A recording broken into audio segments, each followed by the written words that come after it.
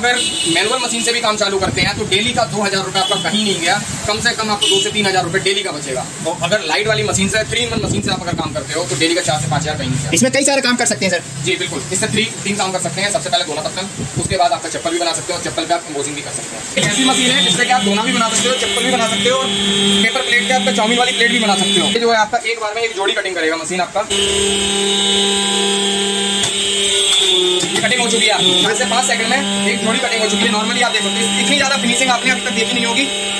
एक बार में नॉर्मली चार से पाँच सेकंड में आपकी चप्पल कटिंग हो चुकी है। अगर आपने हवाई स्लीपर तो बहुत देखा होगा मार्केट में। आजकल देख रहे हैं आप फ्लिपकार्ट अमेजोन वगैरह पे जो आजकल चल रहा है वो इस चीज़ का ट्रेंड ज़्यादा चल रहा है। ये इसको बोलते हैं फैंसी पेस्टिंग इम्बोजिंग चप्पल। अच्छा जी। इसको बनाने के लिए आपको अलग अलग मटेरियल की ज़रूरत होती है। तीन प्रकार की सीट्स लगती है इसमें। ये देख रहे हैं पूरा इम्बोजिंग सीट है। इसमें सबसे पहले जो होता है इसका अपर होता है। ये देख रहे हैं इसी सीट से बनाया हुआ है अपर इसमें ये लगेगा फिर बीच में जो व्हाइट सीट लगती है इसके नीचे। और ये जो ब्लैक बॉटम सीट देख रहे हैं ना ये सबसे बड़ा सीट होता है। ये चालीस जोड़ी का सीट होता है। इतना बड़ा सीट आपने आज तक